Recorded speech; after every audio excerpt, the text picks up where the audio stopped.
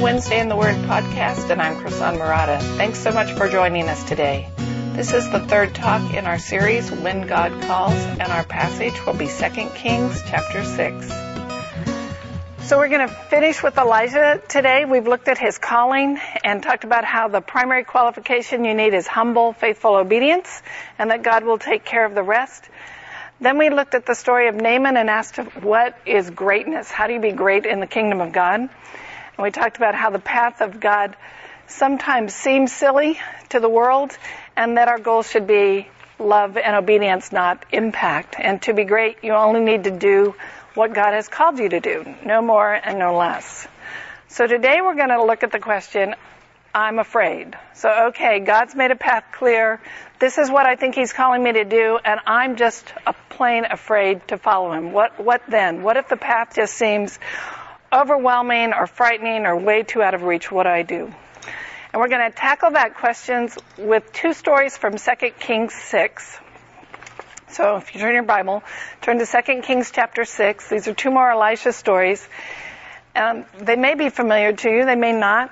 There was some of his more famous stories. And it's interesting to me that the author of Kings put them side by side because what we're going to see in the first story is God at work in ordinary, everyday, daily life. And then in the second story, we're going to see God at work in kind of life and death global politics. So it's very interesting to me that the author put them side by side. So let's start with um, the axe head story, which is in 2 Kings verses 1 through 7. The first time I read this, I was, I was like, why is this even in the Bible? I could not figure out why God would use a miracle in this situation. So that's, that's the first thing we're going to tackle. So look at 2 Kings chapter 6, I'm going to read you verses 1 through 7. Now the sons of the prophets said to Elijah, See, the place where we dwell under your charge is too small for us. Let us go to the Jordan, and each of us and each of us get there a log, and let us make a place to, for us to dwell there. And he answered, Go. Then one of them said, Be pleased to go with your servants. And he answered, I will go. So he went with them.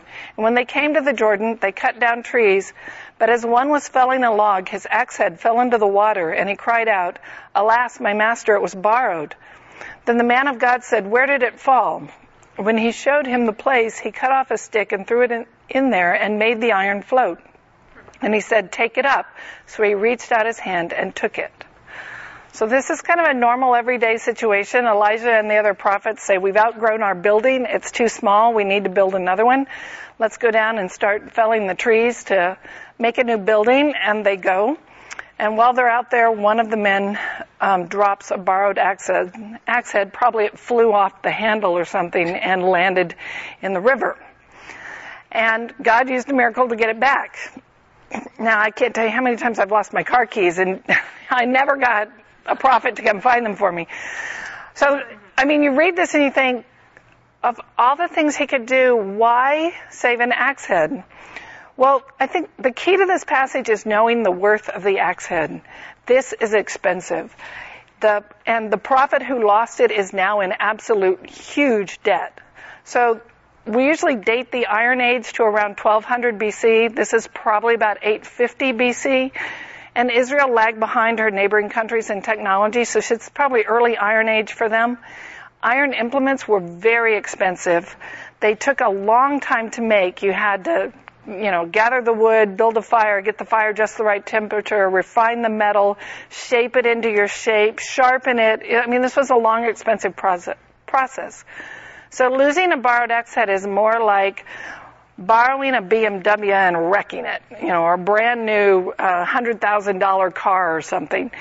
So the prophet's alarmed because he's just incurred tremendous debt.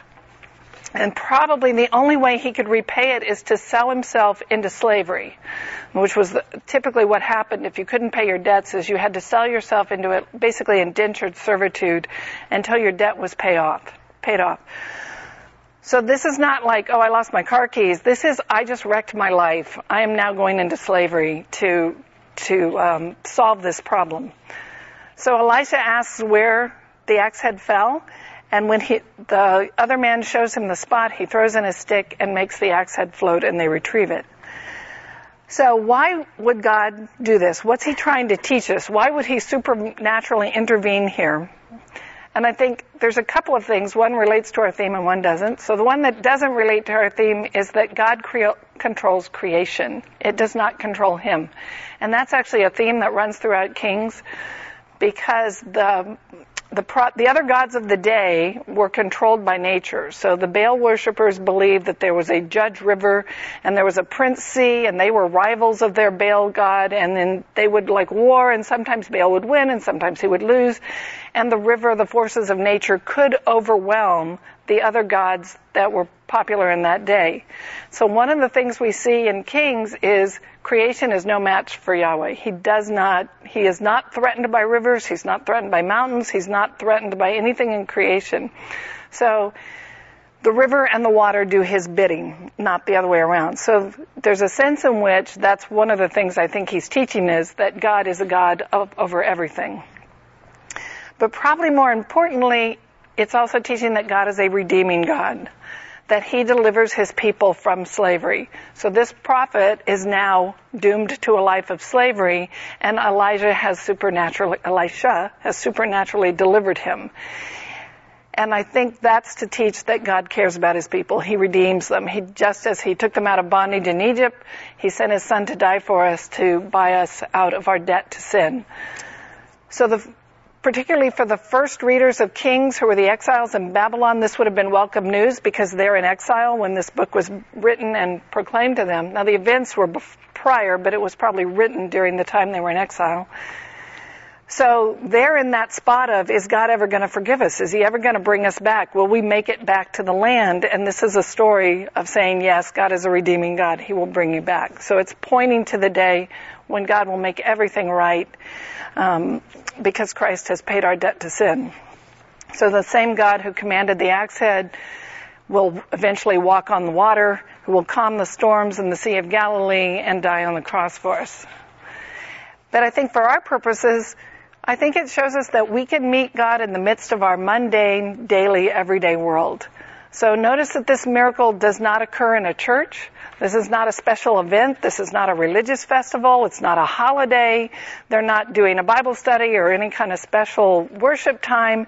They're out sweating, cutting down trees. The prophet's not doing anything particularly religious or worshipful or reflective or meditative. He's working. He's sweating. He's felling trees. And God reaches out right in the midst of his everyday, mundane, workaday world. And I think that's one of the lessons to take away from this, is that God is willing to enter our daily lives, whatever it is. So when Peter says, cast all your anxiety on him because he cares for you, he means all your anxiety, day in, day out. It doesn't have to be super calling, super job, super wife, whatever. Whatever you're anxious about, whatever your day to day worries are, you can cast them on him. Alright, so that's our first story. So you see God at work in daily life, an ordinary person on his ordinary work day, God meets him right where he needs to be to buy him back out of slavery. Now we're going to move to international politics. Look at 2 Kings 6 8. Once when the king of Syria was warring against Israel, he took counsel with his servants saying, At such and such a place shall be my camp. But the man of God sent word to the king of Israel, Beware that you do not pass this place, for the Syrians are going down there. And the king of Israel sent to the place about which the man of God told him. Thus he used to warn him so that he saved himself there more than once or twice. So let me just set the scene historically where we are. This is still Elisha when they're talking about the man of God. They're talking about the prophet Elijah. Joram is the son of Ahab and Jezebel is now reigning. Ben Hadad is still the king in Aram or Syria. And he's sending out his spies picking out a place to ambush Israel and then saying, here's where we're going to carry out the ambush. Um, Elisha finds out about it, probably through divine revelation. He tells the king, the king's sending spies out, confirms the information, and then no one shows up. So when the Syrian army gets there, at what would be this classic ambush location, no one else is there. So God once again is stepping in into time and space and by divine revelation probably informing Elisha every plan of the king. And he's in turn saving the people of Israel. So as we see God at work now in international politics. which I think is interesting. Why did he put these two side by side? Here you have this one lonely prophet whose name we don't even know, and God reaches in and rescues him from slavery. And then you see in the very next episode, to the life of two nations. So this is war. Hundreds of lives may have been at stake or thousands. We don't know exactly. But you see God at work to prevent the conflict. And he's saving not only Hebrew lives, but Gentile lives. So we have this, this, I think, wonderful conflict. But the king's not satisfied with that. Look at 11 through 14, the king of Syria. He wants to know what's going on. The mind of the king was greatly troubled because of this thing. He called his servants and said to them, Will you not show me which of who of us is a spy for the well, who of us is for the king of Israel? And one of his servants said, None, my lord, O king, but Elijah the prophet who is in Israel tells the king of Israel the words that you speak in your bedroom. And he said, Go and see where he is, that I may send and seize him. It was told him, Behold, he is in Dothan. So he sent their horses and chariots and a great army, and they came by night and surrounded the city. So the king of Syria is now finally fed up. He says, All right, who's the spy? Which one of you is informing on us and telling the king of Israel? And it's amazing that he has no clue what's really going on, but his men do. Now, how do they know? Have they been talking to the same Israelite slave girl? I mean, we're not told how they knew, but apparently everyone else seems to know. No one's a spy. No one's disloyal. There's a prophet of God in Israel who knows every word you speak in your bedroom.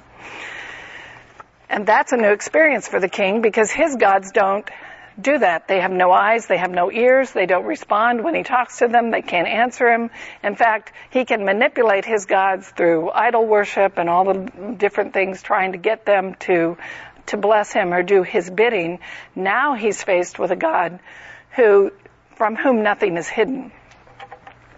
So we've gone from God at work in everyday life to God in international politics, to a God who knows your innermost secrets and the things you whisper on your pillow.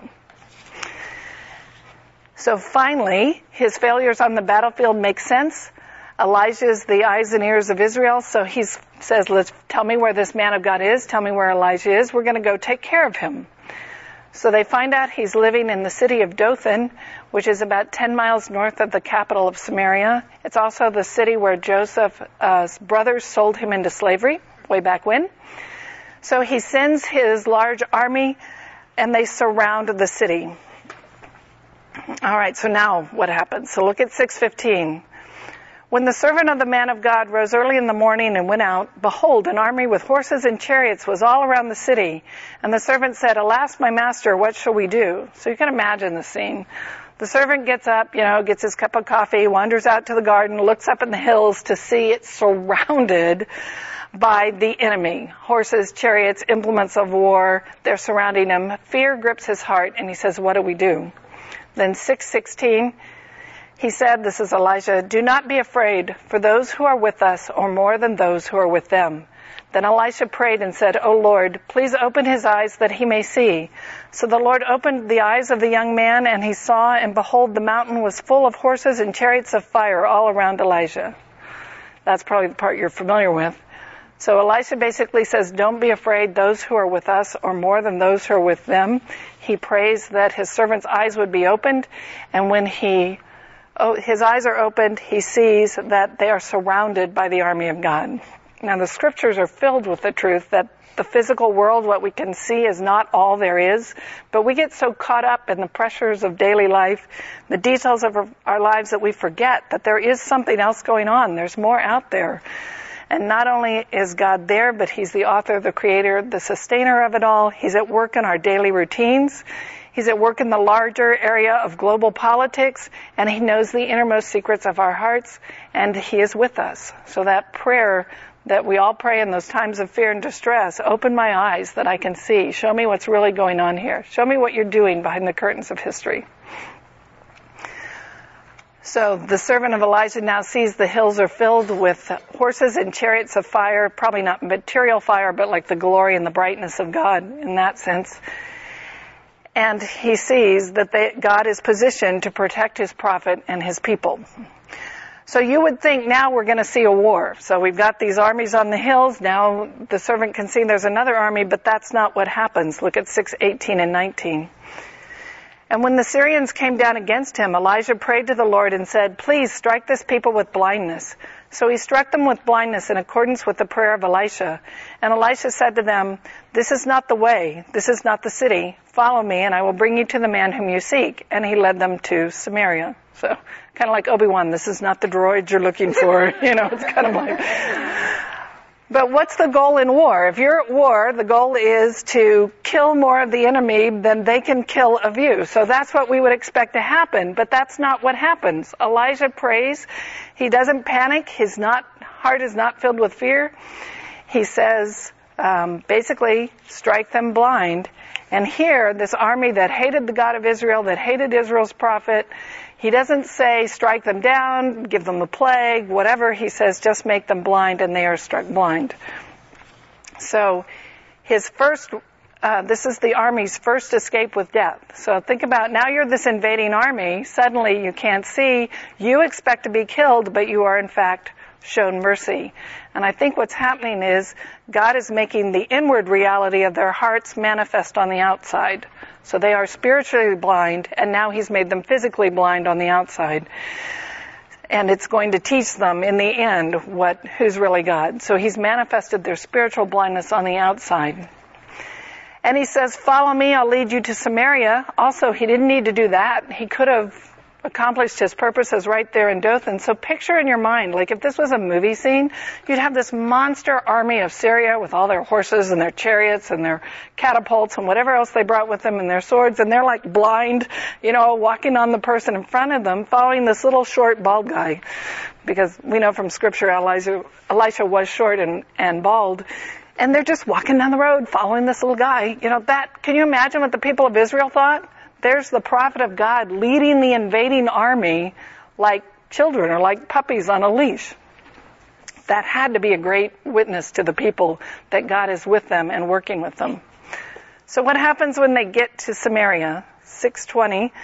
As soon as they entered Samaria, Elisha said, O Lord, open the eyes of these men that they may see. So the Lord opened their eyes and they saw, and behold, they were in the midst of Samaria. As soon as the king of Israel saw them, he said, to Elisha, My father, shall I strike them down? Shall I strike them down? He answered, You shall not strike them down. Would you strike down those whom you have taken captive with your sword and with your bow? Set bread and water before them, that they may eat and drink and go to their master. So he prepared for them a great feast. And when they had eaten and drunk, they went away. And they went to their master.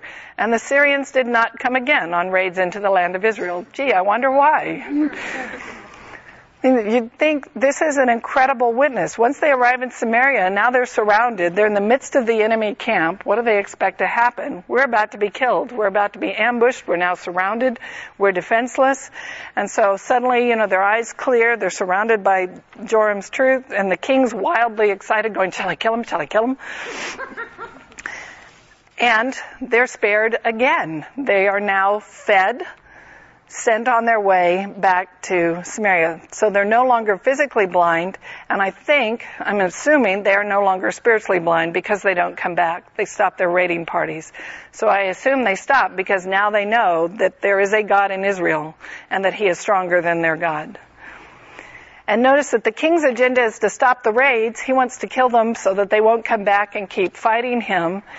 And because that's how you end a war is you have to kill more of the enemy than they kill of you. And God is going to stop the war, but He doesn't stop it through killing, He stops it through conversion. So He changed their hearts so that they knew who the, who the Lord God is and they no longer make their raids. And that would have been a huge witness, I think, not only to the invading army, but to the people of Samaria and the people of Israel. Because they've seen God is taking care of them in a way they never expected. They've seen this prophet calmly walking along with the invading army, leading them right into the midst of the city, and yet they are shown mercy. And then when the army goes home, what are they going to do? They're going to tell this tale. They're going to spread it all over Samaria. Guess what the God of Israel did? Look what happened to us. We can't explain it. We were blind and then we could see, and God gave us, uh, their God showed us mercy. And that by bringing them to Samaria, the people of Samaria also saw that their God was still taking care of them. I mean, I can't imagine what a witness that must have been. And that act of kindness, I think, would ripple through the nation that as these, these armies told their story, it would be a witness to the God of Israel. So these stories are a picture, I think, of God's mercy and redemption. You see him acting to keep his prophet from slavery. Then you see him acting to protect his prophet on earth. You see him acting to feed and extend mercy to an enemy, to a hated enemy, and opening their eyes so that they see he is the Lord, he is God. The king of Aram's solution to the problem was to kill the prophet, but God's solution was to convert those who were trying to thwart him, to open their eyes. So when God calls you to do something and you're afraid, what what what can you learn from the story? What the what theology ought to kick in? I think the first thing is that God's solutions are bigger than any of our problems. So we think, you know, the prophet who lost an axe head learned that God's concerned with the details of his life. That may seem like a minor problem, but that was actually a major problem for him, and God was involved in it. Elisha's servant learned that God is with them even when he couldn't see them. That even though he couldn't see the army of God around him, they were protected. They were there. God was still at work in their lives. The king of Syria, the king of Israel learned that God is the one who controls their battles and controls their victories. So they think they're doing these great international politics and leading a nation, and yet their success and failure also comes from the hand of God. And I think in all of that we see there's no problem so big, so small, or too out of God's reach that he can't handle it. Nothing's too small like the axe head. Nothing's too big like an invading army, and nothing is too personal like the king's pillow talk. God is there in all of it. And notice, he never does what's expected. He, um, I doubt that the army expected to be fed and watered. I doubt that the prophet expected to get his axe head back. He, in all of this, God did the thing that, that he was not expected to do, and that's often how he treats us. We think, well, here's the solution to my problems. This is the only way it can be found. And yet, God may have a whole other plan. So we may not see the army of the God encamped around us, but Scripture teaches us He's there, whether we see it or not. Nothing's out of His control. Nothing takes Him by surprise. You can't make a mistake in your calling such that now you're on plan B or plan J or whatever. That there's no random chance. God is still in control. Uh, there's no bad luck in that sense. There's a God who cares, He's in control, and He's intimately involved in your life. So when you're tempted to think, oh, you know, God doesn't care for me, this is my own little financial struggle, or my own personal trauma, or my own little family drama, or my own issue, it's not that big a deal. No one else cares. It's only a big deal to me. And you think, well, maybe God doesn't care. That's not true. He cares personally. He has ordained all the days of your life, every day. You don't have to earn his favor. You don't have to pray enough or study enough or be religious enough. He's already involved. So he has a plan, even though we may not see it, we may not understand it. It may not be the easy route, uh, but it's still a plan. There's a great cartoon. I tried to get a big enough copy I could show you, but I couldn't get one high enough resolution. But it's got a guy on a bicycle and it underneath it's like here's the starting line and here's the finish line. And underneath it says my plan and he goes straight from the starting line to the finish line. And then in the next chapter he's on his bicycle. Here's the starting line. Here's the finish line. And it's like up and down and over hills and valleys and all around. It says god's plan. It's like we don't always go from a to z in the straight easy path the straight line. Sometimes it's hard. Sometimes there are pitfalls Sometimes it's the unexpected. I don't think Elisha's servant expected to see the hills filled with the army of God. I don't think the Syrian soldiers expected to tell the tale of their physical blindness or that the prophet of God expected to lose an axe head and then have it miraculously returned. And if they had written their stories, they probably wouldn't have written that way. And yet it was God's plan for them. So let me just review our five steps then. When God calls, five ways to run your race well. First one, follow God's call with humble faith and obedience. That's the burn your ox story. Just say yes. Follow him wherever he leads you. The second one, trust God to equip you for that call. That's the story where Elisha asked for the double portion of the Spirit. If you know you're inadequate, that's a great first step. Ask God to equip you. The third one, Seek greatness by doing only that which He calls you to do, no more and no less. So greatness is obedience. It is following Him, whatever it is. Let Him take care of fame, fortune, impact, and so on. Which leads us to the fourth one. Aim for self-sacrificing love, not impact. So aim for obedience, not fame, fortune, impact. And then the fifth one from today, when you're afraid, remember nothing is too big or too small for God to handle. That's the the story of do not be afraid for those who are with us are more than those who are with them. That is just as true today as it was when Elisha said it to his servant. It's 2 Kings 6:16. do not be afraid for those who are with us are more than those who are with them. So when you're afraid, number 5 is when you're afraid nothing is too big or too small for God to handle. Let me pray. Father, thank you for uh, being a God who calls us and lets us have a role in your kingdom. I know you could accomplish your will without us, and it's by your grace and your mercy that you give us a role to play, and that that role teaches us and benefits others as well. And we just pray that as we go through our days, we go back to the real world away from the retreat center, that we would remember these truths and be looking for the ways we can be humbly faithful to whatever you call us to do, to be content with what it is, and not to look too far in the future, but just to know that this is your plan. Nothing is out of your control. In Jesus' name, Amen.